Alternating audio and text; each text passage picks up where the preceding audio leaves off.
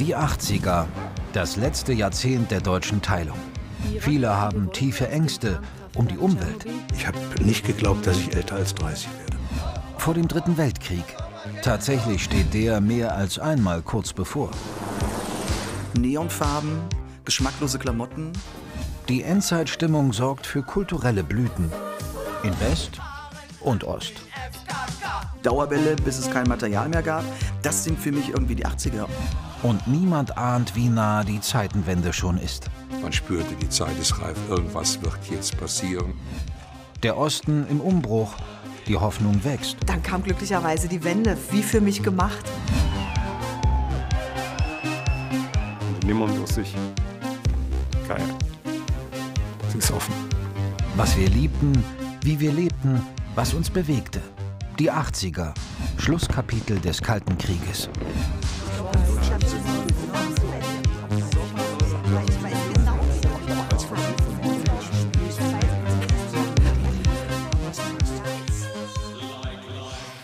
Seit fünf Jahren ist Helmut Kohl Bundeskanzler. Doch Ende der 80er bröckelt seine Macht. Bei der Bundestagswahl 1987 verliert die Union fast 5 Prozent. In der Partei formt sich Widerstand gegen den Mann aus der Pfalz. Die Wirtschaft stagniert, die Arbeitslosenzahlen verharren auf Rekordniveau. Stagnation auch im Osten.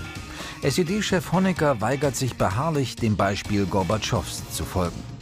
Statt auf Reformen und Offenheit setzt er weiter auf das alte System, die totale Kontrolle durch Polizei und Staatssicherheit. Die Angst vor einem Machtverlust ist groß. Die DDR versucht mit aller Kraft wirtschaftlich mit dem Westen Schritt zu halten, vergeblich. Marode Städte und eine zerstörte Umwelt sind die Folgen dieser Politik. September 1987, Udo Lindenberg live in Koblenz. Wenige Tage zuvor hatten sich der Panikrocker und SED-Chef Erich Honecker in Wuppertal getroffen. Schon lange träumt der Sänger von einer DDR-Tournee. Nun könnte es klappen. Der Sonderzug nach Pankow endlich starten. Ich bin ein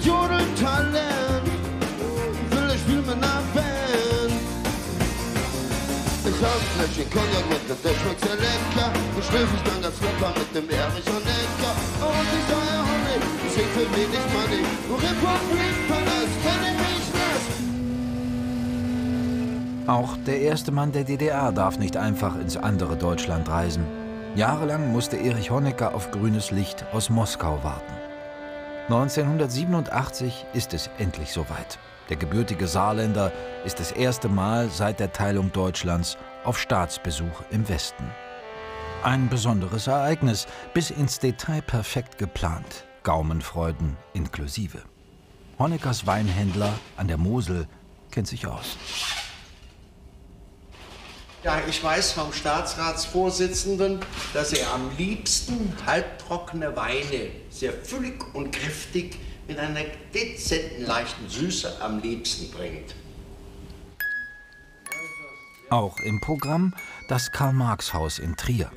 Seit vier Jahrzehnten regiert die SED mit harter Hand im Osten. Doch je länger sie an der Macht ist, desto größer scheint die Kluft zwischen Marxischer Theorie und der tristen Realität im Überwachungsstaat.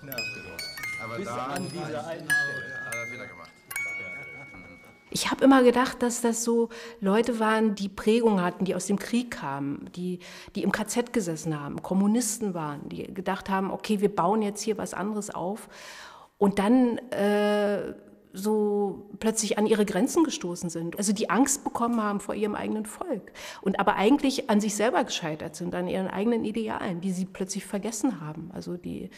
Äh, ihre Träume, die sie ja mal hatten, durch irgendwie Parteiprogramme und Restriktionen äh, ersetzt haben.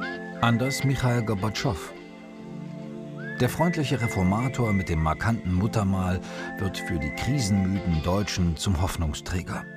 Auch für den aus der DDR ausgebürgerten Liedermacher Wolf Biermann. Er widmet dem Kreml-Chef einen eigenen Song. Bleibe klug und bleibe schlau, sei ein Kind und sei ein Mann und sei tapfer wie eine Frau. Oi, oi, Mama, Hoffnung, die ich heg. Mütterchen, mein Russland macht sich auf den Weg. Oi, oi, Kinder, lasst mal in die Glut. Feuerchen, du wärmst mich und das macht mir Mut.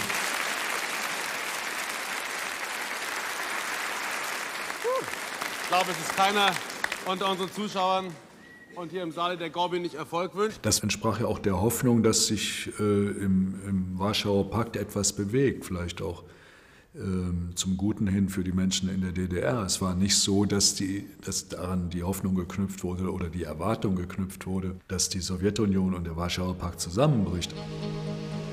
1987 erschüttert die Barschel-Affäre die Bundesrepublik. In einem Genfer Hotel wird der CDU-Politiker Uwe Barschel tot aufgefunden. Die Ermittler gehen von einem Selbstmord aus. Wenige Tage zuvor war Barschel als schleswig-holsteinischer Ministerpräsident zurückgetreten. Die Bombe platzte einen Tag vor den Landtagswahlen. SPD-Spitzenkandidat Björn Engholm wurde im Wahlkampf ausspioniert. Ein enger Vertrauter Barschels hatte alles daran gesetzt, um den politischen Gegner zu diskreditieren. Als immer mehr pikante Details bekannt wurden, erklärte Barschel, ich gebe Ihnen mein Ehrenwort, dass die gegen mich erhobenen Vorwürfe haltlos sind. Ich danke Ihnen. Doch weder die Öffentlichkeit noch die eigene Partei glauben dem CDU-Politiker. Barschel war ja überaus ehrgeizig und kämpfte mit allen Mitteln. Und ähm, man sah plötzlich, dass, dass er äh, äh mit politischen Mitteln äh, operiert hatte, die gesetzeswidrig waren. Und dann war er weg. Und es endete ja dann auch ziemlich tragisch. Besonders anstößig, Barschels Mitarbeiter hatte das Gerücht gestreut, SPD-Herausforderer Björn Engholm sei HIV-positiv. AIDS ist das große Angstthema der 80er.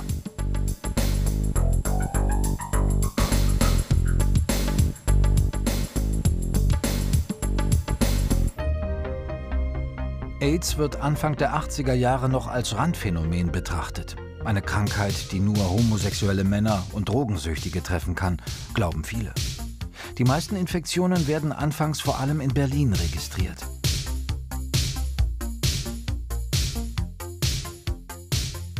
Also um die Ecke bei mir war das Café Lila. Mochte ich sehr, war ich oft. Und die Jungs waren halt alle schwul und da lebt niemand mehr. Das, das, das ging ja wie mit der Sense. AIDS war in den 80er Jahren, vor allen Dingen in Westberlin, also weil Westberlin eben diese große schwule Szene hatte, ziemlich großes Thema. Äh, aber es war doch so, dass die meisten Heteros gedacht haben, also ich drücke kein Heroin, äh, ich äh, habe keinen schwulen Sex, also ähm, kann mir eigentlich nicht passieren. Eine trügerische Sicherheit. Über die Drogenszene gelangt das Virus ins Rotlichtmilieu. Und obgleich das Wissen über die Übertragungswege wächst, ändern nur wenige der Freier ihr Sexualverhalten. Die Freier wollen ohne Gummi. Und ich stehe manchmal wirklich zwei, drei, vier Stunden ohne eine Mark zu verdienen, weil ich nur die Türen zumache und nicht mitfahren kann. Ne? Ist also ich an den Freiern. Das die Risikogruppe sind nicht wir, sondern die Freier, weil die einfach nicht kapieren, dass das also hier mehrere Männer sind, die hier pro Nacht kommen und die wir bedienen müssen und also wirklich ein Risiko ist. Sie kapieren es einfach nicht. Von einer Lustseuche sprechen katholische Fundamentalisten und Bayern plant, infizierte Personen abzusondern. Absonderung heißt also in einer Einrichtung, wo natürlich dann auch äh, therapeutische Maßnahmen äh, durchgeführt werden, sicherzustellen, dass der Infektionsträger die Infektion nicht weiter verbreitet. Das heißt also letztlich eine Freiheitsentziehung. Deswegen äh, sieht das Gesetz vor, dass die Entscheidung durch den Richter getroffen werden muss. Es gab dann die, ja, das Vorhaben der CSU vor allen Dingen, ähm, mit Gesetzen gegen AIDS-Kranke vorzugehen. Und das wurde letzten Endes verhindert von Rita Süßmuth, die damals ähm, von Kohl ins Kabinett geholt worden war und unter anderem für Gesundheitsfragen zuständig war. Aber das war eine, eine grundlegende Auseinandersetzung zwischen, zwischen ähm, ja, sehr konservativen, klerikal-konservativen und einem äh, liberalen Spektrum der CDU. Gesundheitsministerin Rita Süßmuth setzt auf Prävention statt Repression und startet 1987 eine groß angelegte Aufklärungskampagne. Was würde ich tun, wenn hier jemand AIDS hätte? Ganz klar. Weiterarbeiten natürlich. Warum auch nicht? So wie mit einer Grippe kann man sich mit AIDS nicht infizieren. Da kann man auch mal angenießt oder angefasst werden. Da kann man auch mal eine Tasse vertauschen. Das macht nichts. Dadurch kann das AIDS-Virus nicht in die Blutbahn kommen. Und deshalb ist es für mich kein Problem, mit AIDS-Infizierten zusammenzuarbeiten. Im Gegenteil, die brauchen unsere Hilfe. Ob jemand infiziert ist oder nicht, darauf kommt es nicht an. Gib AIDS keine Chance. Ich habe dann zum Beispiel auch schnell einen AIDS-Test gemacht. Ähm, als ich dann in der Beziehung war, äh, wollten wir beide wissen, dass wir safe sind.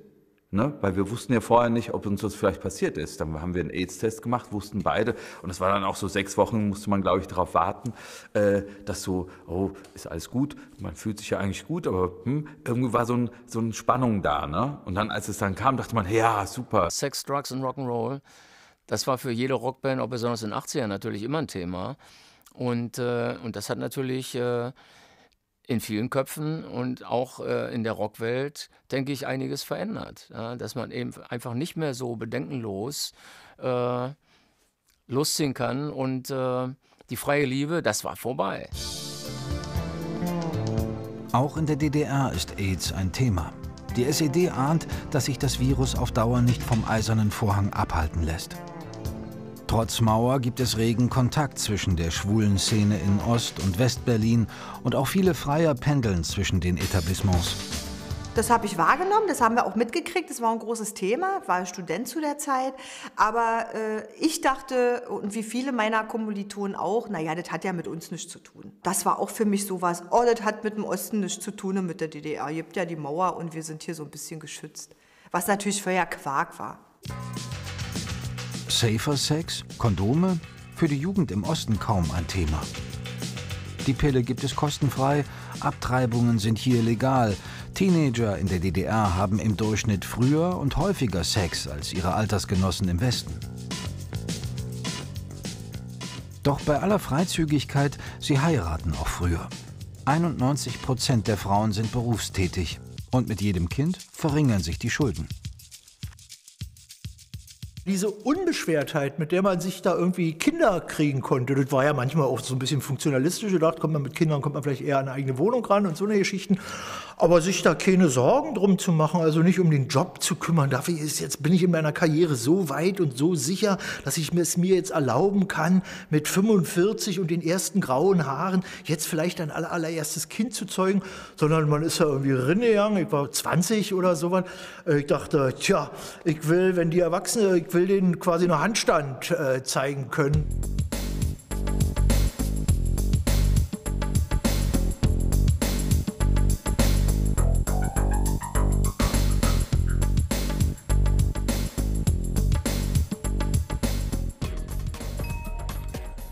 Im Osten ist der Wohnraum zwar nicht teuer, aber knapp. Wohnungen werden zentral vergeben, vorzugsweise an kinderreiche Familien. Unverheiratete und kinderlose Paare haben kaum eine Chance auf ein eigenes Zuhause. Daran ändern auch die Plattenbauten nichts, die der Staat im Eiltempo an den Stadträndern errichten lässt. Für die junge Generation zermürbende Zustände. Vom Staat im Stich gelassen, greift sie zur Eigeninitiative. Leerstehende Gebäude, die wegen ihres desolaten Zustandes nicht mehr vermietet werden dürfen, werden kurzerhand gekapert.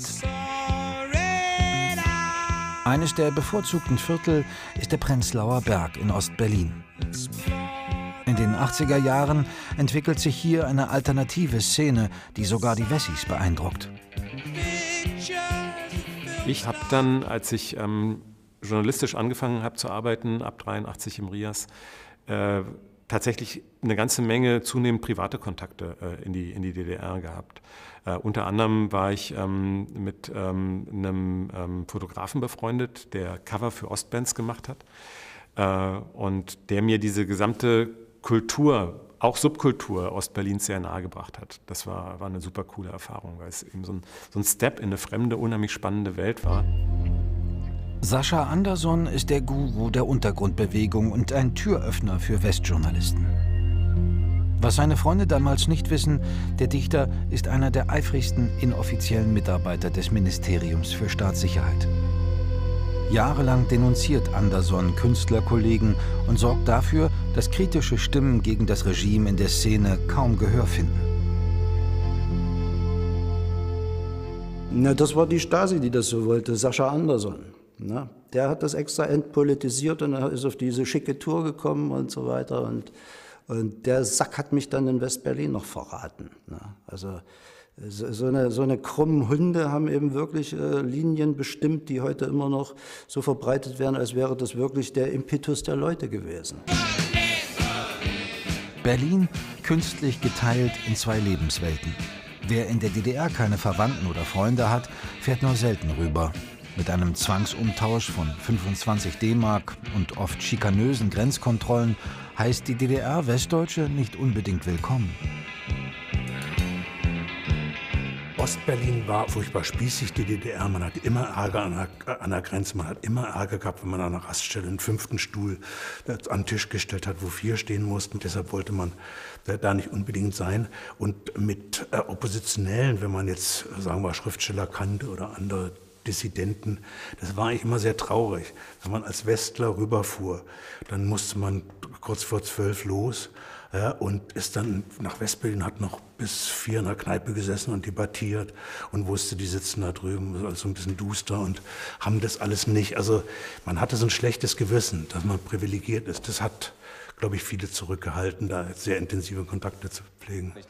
Im Westen mag man es in den 80ern eher schrill und bunt. Selbst in Adelskreisen hat jetzt die punkige Löwenmähne die gepflegte Föhnwelle abgelöst. Fürstin Gloria von Thurn und Taxis wird 1987 mit ihrer Frisur zum absoluten Medienliebling. Nachher machen sie es dann wieder kaputt. Also kann man ja nicht schlafen gehen.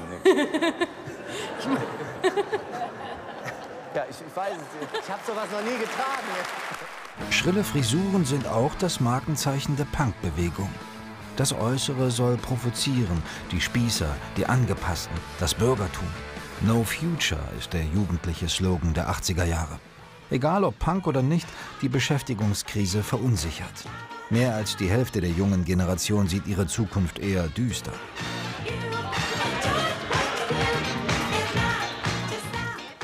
In Westberlin kommen Jugendliche auf eine ganz besondere Idee.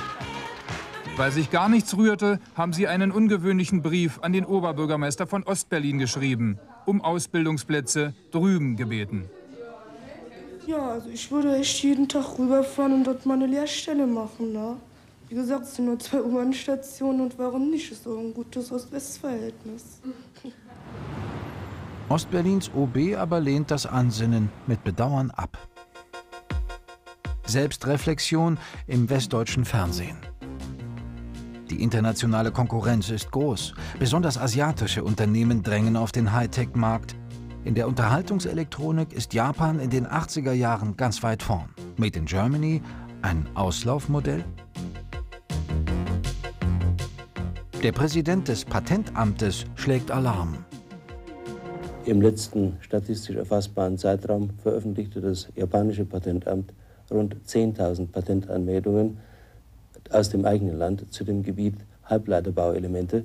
Mein Amt äh, konnte nur knapp 300 solche Anmeldungen aus dem eigenen Land veröffentlichen. Die neuen Technologien verändern die Gesellschaft. An der Börse locken lukrative Gewinne mit spekulativen Finanzgeschäften. Statt auf solides Wachstum setzen viele auf schnellen Erfolg. Der moderne Mensch lebt für Karriere, Konsum und Lifestyle. Man zeigt, wer man ist und was man hat. Yuppies werden das Ideal der späten 80er. Auf einmal brach eine Stimmung aus. Luxus, die Frittenbuden führten plötzlich Champagner. Natürlich war das nur eine hauchdünne Schicht wie immer, die dann plötzlich irgendwie die Korken knallen ließ. Und jetzt aber, und jetzt geht's aber los und jetzt ist alles super und wir konsumieren und so. Aber diese Stimmung hat sich auch auf die Leute ausgebreitet, die äh, überhaupt keine Kohle hatten. Die 68 haben so einen Individualismus hervorgebracht. Sie haben ja sozusagen das Individuum propagiert. Ja. Wir sind keine konforme Masse mehr, wir lassen uns nicht manipulieren. Wir denken selbst, wir sind frei, wir bestimmen unser Leben selbst, machen es aber im Kollektiv. Das Kollektiv ist dann in so den 80er Jahren verloren gegangen und äh, übrig geblieben ist dieser Individualismus, der aber dann auch völlig narzisstisch und konsumistisch sich austoben kann äh, und nichts mehr mit einer Gesellschaft zu tun hat. Das Mobiltelefon wird zum neuen Statussymbol. 1985 startet in Deutschland das sogenannte C-Netz. 15.000 Mark kosten die ersten Handys, dazu kommen Grundgebühren von über 200 Mark. Dennoch, 1988 zählt das C-Netz bereits 100.000 Teilnehmer. Michail Gorbatschow, auch in der modernen Kommunikation ein Trendsetter. Der Kreml-Chef lässt sich in Helsinki mit dem Cityman der Firma Nokia ablichten und beschert dem Unternehmen rasant steigende Verkaufszahlen. Das 10.000 Mark teure Modell erhält daraufhin den Beinamen Gorba.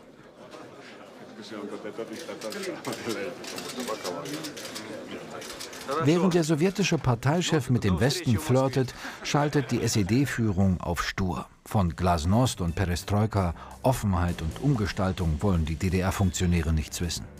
Stattdessen unterdrückt der Staat jede Kritik brutal. Im Januar 1988 findet in Ostberlin der alljährliche Gedenkmarsch für die KPD-Gründer Karl Liebknecht und Rosa Luxemburg statt. Dissidenten und Ausreisewillige wollen diese offizielle Veranstaltung nutzen, um Reise- und Meinungsfreiheit einzufordern. Schon im Vorfeld werden sie von der Stasi abgefangen und verhaftet. Unter ihnen auch der mit Berufsverbot belegte Liedermacher Stefan Kraftschick. Ich wollte einfach auf meine Situation auf, aufmerksam machen. War eine deutsche demokratische Republik, da muss es doch dem Bürger möglich sein. Aber es war mir nicht möglich. Gleich in der nächsten Straßenecke wurde ich verhaftet. Da kamen zwei große Kerle auf mich zu, früh um 8 und haben gesagt, sind Sie Stefan Kraftschick? Ja, ja, was sollst du denn da sagen? Ne? Und da haben sie mich dann mitgenommen, abgeführt, nach, nach äh, Rummelsburg gefahren. Und dort war meine letzte große Action in der DDR. Da habe ich mit den ganzen, die da auch verhaftet worden sind, das waren so um die 70 Leute im Keller, mein Polizeistaatlied gesungen. Ich habe die Strophe gesungen und die haben den Refrain dann mitgesungen. Frag doch mal einen Polizist, was ein Polizeistaat ist und zur Antwort kriegst du dann, alle scheißen alle an. Das war eine Stimmung und die Bullen haben dann mit ihrem Schlüssel ans Gitter gehauen und hatten gegen diese 70 Kehlen keine Chance.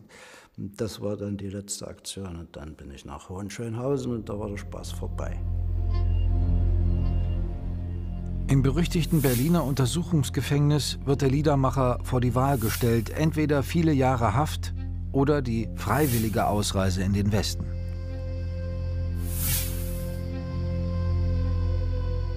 Wenn du die Wahl zwischen zwölf Jahren Gefängnis oder Ausreise hast, da ist mit freiwillig wirklich die, Ausruf, äh, die Anführungsstrichen müssen, müssen sehr dick sein.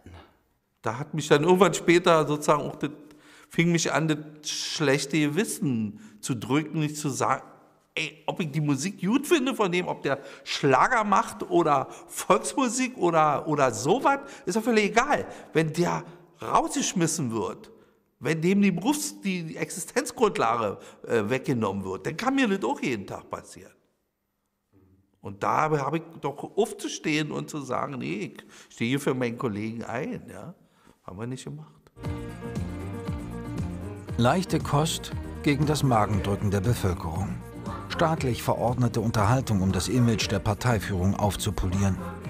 Doch auch Popgymnastik und Modenschauen können die wachsende Unzufriedenheit nicht besänftigen. Viele junge Menschen äußern offen ihre Kritik am System. Selbst Parteimitglieder plädieren inzwischen für Reformen. Vergeblich.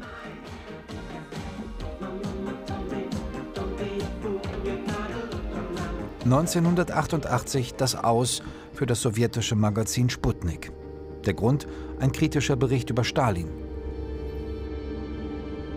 Da war ich schon beim Radio und eine Kollegin, die hatte Sendung und hat gesagt, heute ist, eröffnete die Sendung mit den Worten, heute ist ein Sputnik abgestürzt und spielte im Anschluss äh, die Band Six Six Sputnik. So. Und äh, in der Folge wurde sie vom Sender genommen, also durfte nicht mehr arbeiten. Ähm, das war schon, also wo man merkte, ähm, es passiert was. Ja? Also wo, wo man auch plötzlich, so, so, so schlimm das war, wie mit der Kollegin umgegangen wurde, ähm, es stehen Leute auf und wehren sich. So, das hat bei mir noch eine Weile gedauert, bis ich mich gewehrt habe, aber ich habe das bewundert. Bruce Springsteen spielt in Ostberlin und über 200.000 DDR-Bürger singen gemeinsam mit dem Boss Born in the USA. Für einen kurzen Moment sind Mauer und politische Entmündigung vergessen.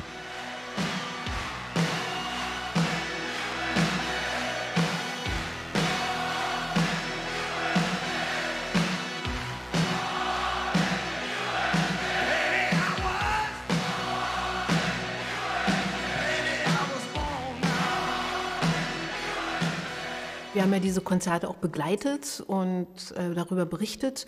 Und deswegen war ich natürlich auch da und habe auch verstanden, warum das passiert. Also weil sie natürlich merken, wir müssen den jungen Leuten, deren Sprachrohr wir ja waren als Jugendsender, als Jugendprogramm, auch etwas bieten. Ja, also wir müssen sagen, guckt mal, wir, ihr habt doch hier, kommt, wir holen die Leute nach Berlin und in die DDR und ihr könnt sie euch angucken. Wir sind ein offenes Land. Ventil. Das Ventil wurde immer weiter aufgemacht, nur nutzte immer ja nicht, immer weniger sozusagen. Politisch ist ja ja nicht passiert, also für DDR-Behörden eine politische Öffnung, sondern eben nur diese, äh, jetzt grölen wir mal alle von mir aus Born in the USA. War natürlich auch ein Ausverkauf eigentlich. Während es in der Beziehung zwischen Ostberlin und Moskau kriselt, kommen sich der Kreml und Bonn immer näher. Im Herbst 1988 empfängt Gorbatschow Bundeskanzler Helmut Kohl. Eines ihrer Gesprächsthemen ist die DDR und das deutsch-deutsche Verhältnis. Das Vier-Rechte-Abkommen hat sich als tragfähige Grundlage erwiesen. Es war ja auch klar, dass Gorbatschow äh, Honecker gegenüber sehr skeptisch war und, und ähm, wie hieß der Spruch, äh, wer zu spät kommt, den bestraft das Leben. Das zielte ja auf, auf Honecker. Das war ja die Hoffnung. Deswegen war ja äh, Gorbatschow auch in, in der Bundesrepublik so angesehen, weil man dachte, wenn so jemand äh, in der DDR das, äh, die Regierungsgeschäfte übernehmen würde, dass dann äh, vieles leichter würde. Gewinner der Annäherung zwischen Bonn und Moskau sind deutschstämmige Sowjetbürger. Sie können nun schneller und leichter in die Bundesrepublik übersiedeln. Für viele dieser Menschen eine lang ersehnte Veränderung. Ab 1988 wächst die Zahl der sogenannten Spätaussiedler rapide.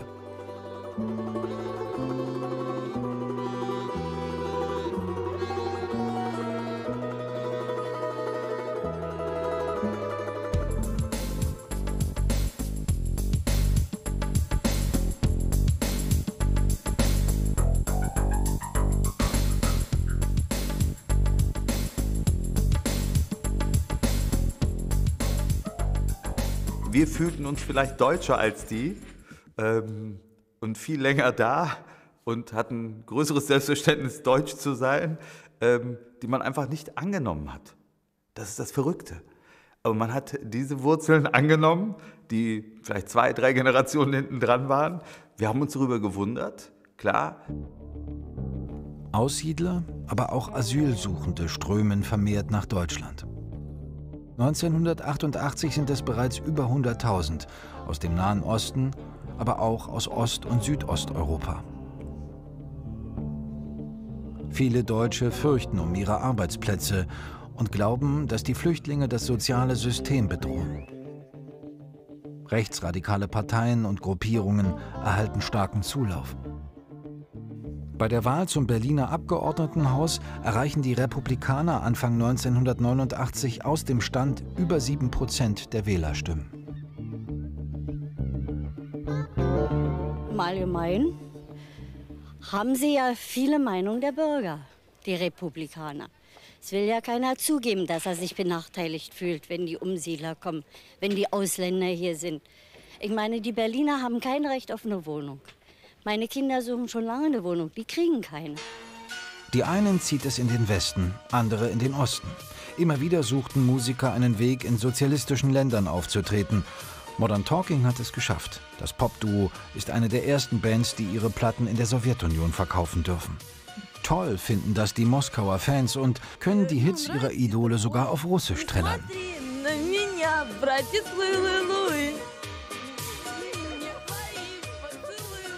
Dieter Bohlen und Thomas Anders sehen sich selbst als Botschafter. Die Musik aus dem Westen ein Freiheitsversprechen. Eine Band zu haben, die nicht vor 30 Jahren erfolgreich war im Westen, sondern momentan aktuell im Westen erfolgreich ist. Und dann halt eben diese Musik offiziell zuzulassen, dass sie auch gekauft werden darf. Das war für die Menschen so ein Einschnitt in ihr Leben, dass sie auch so positiv bewerten. Das höre ich heute noch sehr, sehr oft, ähm, wenn ich meine Konzerte gebe, dass Menschen halt eben zu mir kommen, die sagen, mit Modern Talking, mit deiner Musik fing für uns ein neues Leben an. Das Moskauer Lenin-Stadion im Sommer 1989. Heavy Metal und Hard Rock vom Feinsten und das im Mutterland des Kommunismus. Neben Bon Jovi und Ozzy Osbourne rocken auch die deutschen Scorpions die jubelnden Massen.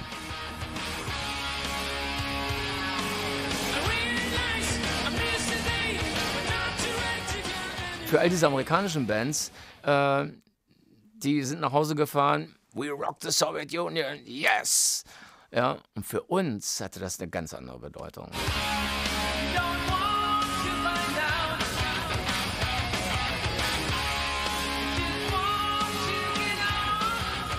Wir haben gesagt, unsere Eltern sind mit Panzern gekommen, wir kommen mit Gitarren.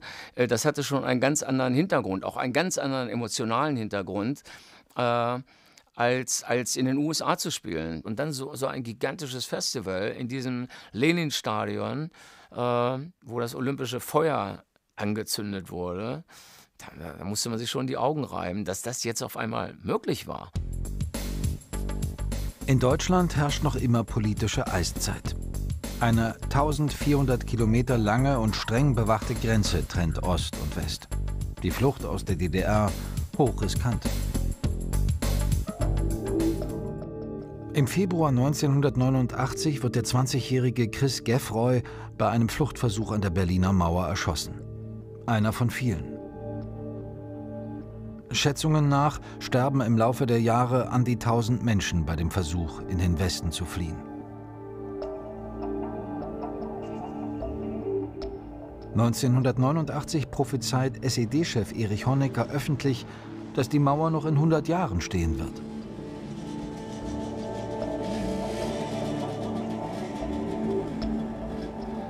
Wir haben Honecker geglaubt, dass die Mauer noch in 100 Jahren steht.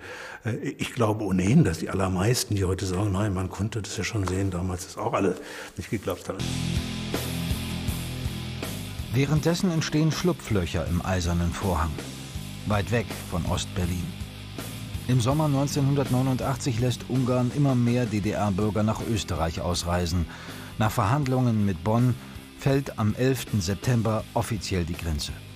Für DDR-Bürger in Ungarn ist der Weg nach Westdeutschland jetzt endgültig frei.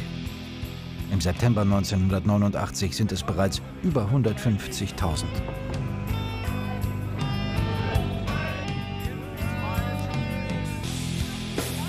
alle im Lager gewesen. Ne? Und zwar ganz toll da. Wir möchten uns da nochmal recht herzlich bei der BRD bedanken und bei der ungarischen Regierung. Endlich raus, endlich raus, echt. Als die DDR-Führung die Visavergabe nach Ungarn stoppt, stürmen die Ostdeutschen in Prag die Botschaft der Bundesrepublik. Nach zehn Verhandlungen mit der tschechoslowakischen Regierung verkündet Außenminister Hans-Dietrich Genscher die erlösende Botschaft.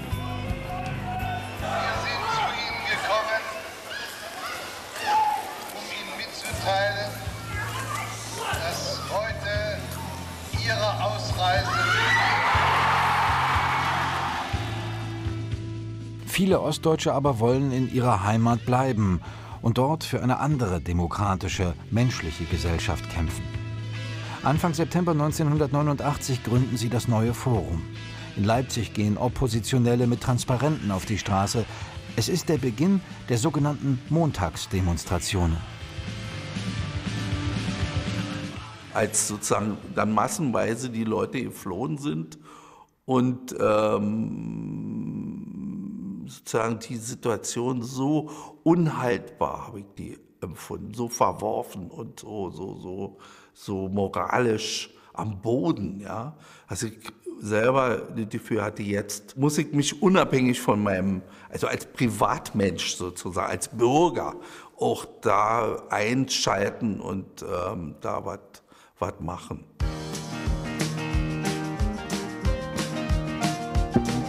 Dasselbe Land zu lange gesehen, dieselbe Sprache zu lange gehört, zu lange gewartet, zu lange gehofft, zu lange die alten Männer verehrt. Herzberg und andere prominente Musiker verfassen einen Appell an die Staatsoberen, ihre Politik zu ändern. Die Resolution wird auf Konzerten verlesen, doch die Medien schweigen darüber. Mit der Gründung des neuen Forums haben sich auch die Künstler äh, positioniert, also einige Künstler und gab so eine Erklärung von den Künstlern und und äh, die erreichte mich dann auch, die habe ich dann auch unterschrieben und das hatte dann für mich natürlich auch so du du und du musst diese Unterschrift zurücknehmen oder du kannst hier nicht länger arbeiten. Das war wirklich der Punkt, wo ich gesagt habe, ich muss jetzt einfach auch zeigen, dass ich, ähm, dass ich nicht einverstanden bin. In Leipzig erhalten die Montagsdemonstrationen immer mehr Zulauf. Am 9. Oktober 1989 sind es bereits über 70.000 Menschen. Die SED-Spitze erwägt den Einsatz von Sicherheitskräften, will die Demonstrationen notfalls auch mit Gewalt stoppen. Doch einige Funktionäre aus Leipzig sowie prominente Künstler wie der Dirigent Kurt Masur vermitteln und verhindern eine Eskalation. Man spürte, die Zeit ist reif, irgendwas wird jetzt passieren. Er hatte natürlich auch große Angst, äh, dass Panzer auffahren würden. Die SED-Hardliner kapitulieren. Erich Honecker erklärt am 18. Oktober seinen Rücktritt. Der neue Parteichef Egon Krenz verspricht Reformen. Zu spät. Die Ostdeutschen wollen jetzt ihre Zukunft selbst gestalten. Ich merkte, dass eben in dem privatesten Raum plötzlich anfingen Leute wirklich sich zu politisieren und zu sagen, wir gründen jetzt hier äh, Parteien oder, oder äh, organisieren uns, bis hin dann zur größten Form der Euphorie, diese, diese ähm, Demonstration am 4. November. Der Alexanderplatz in Ostberlin. Rund eine halbe Million DDR-Bürger demonstrieren für mehr Demokratie. Unter den Rednern Künstler, Oppositionelle, aber auch SED-Mitglieder. Und den Minderheiten. Noch aber hält die Partei an ihrem Machtmonopol fest und kann sich dabei auf Polizei, Armee und Staatssicherheit stützen.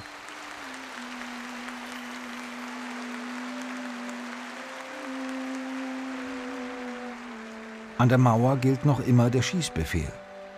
Um den wachsenden Unmut zu besänftigen, plant die DDR-Führung mehr Reisefreiheit für ihre Bürger.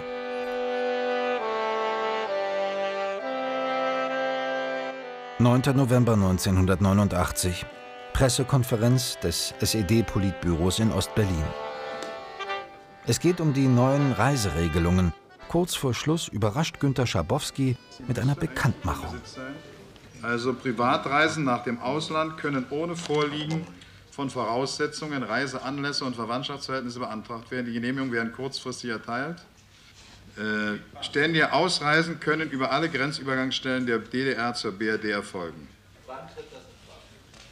Das tritt nach meiner Kenntnis ist das sofort. Unverzüglich. Dann haben wir das ja gehört, was Schabowski gesagt hat. Da haben wir gesagt, los, wir fahren jetzt mal zur bin mit einer Frau zur Sonderlee gefahren. Und die kannte ein paar Schleichwege, wir sind hinten rumgefahren. Wir waren früher als Kinder mit Fahrrad lang gefahren und da sind genau gegenüber der Sonderlee rausgekommen und da standen ein paar tausend, gefühlte tausend Menschen oder noch mehr, die haben immer gerufen, mach das Tor auf. Auch am Grenzübergang Bornholmer Straße sammeln sich die Massen. Ein Ansturm, auf den die DDR-Wachposten nicht vorbereitet sind. Günter Schabowskis Bekanntmachung hat nicht nur die Grenzbeamten, sondern auch ihre Dienstherren kalt erwischt. Was jahrzehntelang unmöglich schien, wird plötzlich Wirklichkeit. Die Mauer fällt. Und keiner weiß, was tun. Nach fast drei Jahrzehnten kommt zusammen, was für viele schon lange zusammengehört.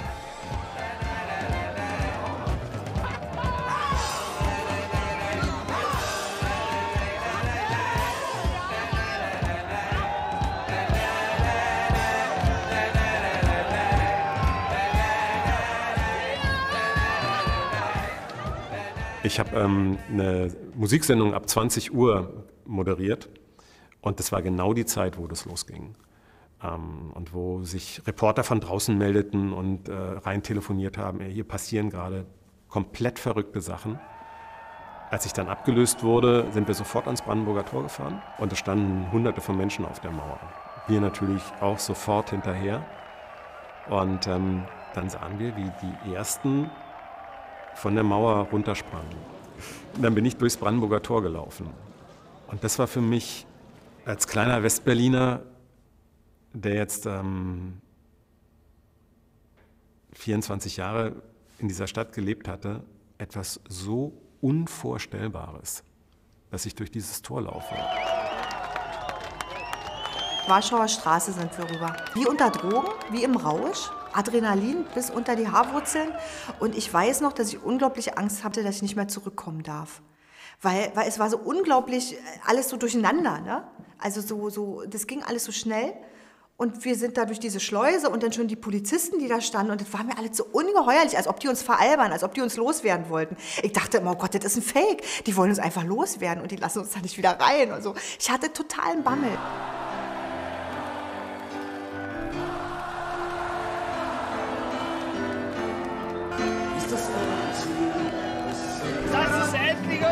Stunde. Die Stunde der Freiheit. Alle, die von Freiheit Ja, Freiheit.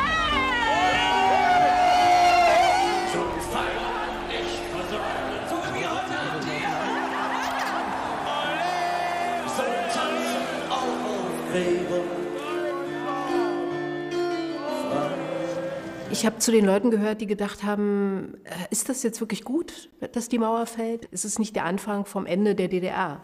Und ich gehörte zu den Leuten, die gedacht haben, lass uns doch mit diesem Land was anfangen. Und in dem Moment, wo diese Mauer auf war und alle was anderes zu tun hatten, als sich um diese DDR zu kümmern, ähm, habe ich gedacht, schade. Und tatsächlich, mit der Mauer fällt auch der Rückhalt für die Deutsche Demokratische Republik. Nach Jahrzehnten der Beschränkung und Überwachung erscheint das Westmodell vielen Bürgern attraktiver.